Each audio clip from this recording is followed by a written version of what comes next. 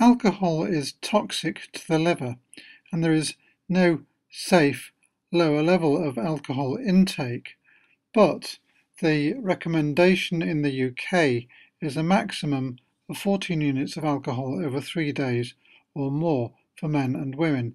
That is equivalent to approximately one and a half bottles of wine per week.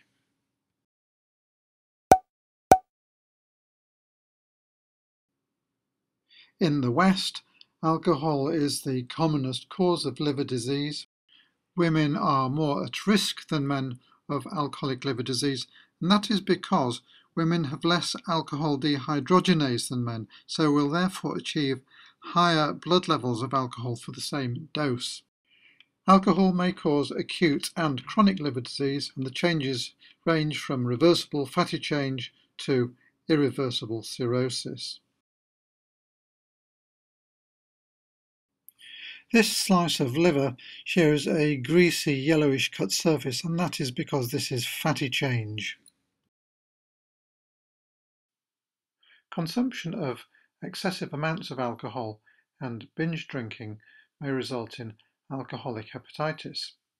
In alcoholic hepatitis you can see necrosis of hepatocytes and this resembles changes seen in viral hepatitis.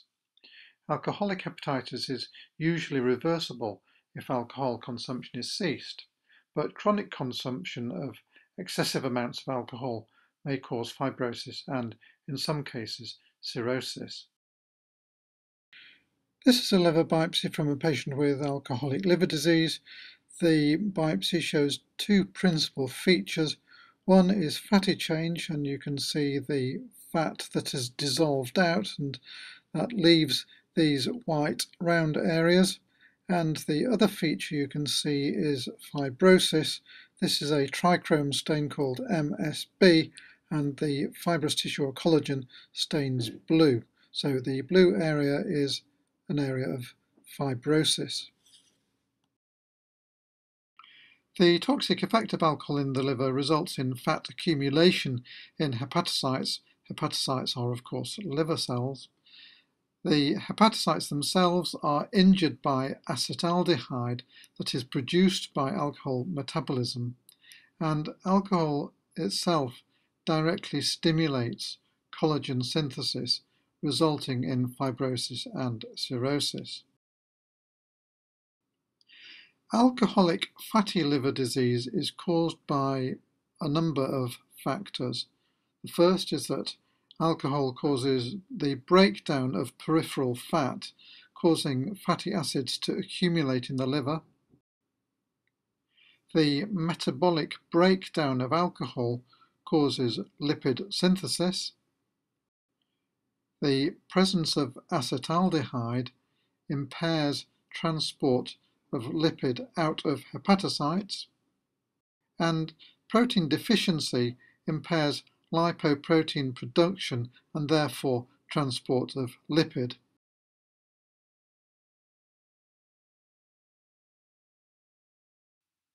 This liver biopsy shows quite severe fatty liver disease where the majority of hepatocytes are distended by vacuoles of fat. Alcoholic liver disease results in a spectrum of histological changes, including initially fatty change, steatohepatitis, where the fatty change causes inflammation of the fat-laden hepatocytes, hepatocyte necrosis, Mallory's hyaline production, this is caused by clumping of intermediate filaments in the liver cells. Eventually, fibrosis may occur around the central veins, and ultimately cirrhosis may occur. This is a liver biopsy showing features of alcoholic liver disease and the arrow points to a focus of Mallory's hyaline. Cirrhosis occurs in less than 10% of alcoholics. It may follow acute alcoholic hepatitis or it may present as end-stage liver disease. This liver biopsy shows features of micronodular cirrhosis. The nodules of liver cells are less than 3 millimeters in diameter and they lie in a sea of blue staining collagen. So as the cirrhosis progresses, the liver cells will diminish and the amount of fibrous tissue will increase, causing the liver to fail.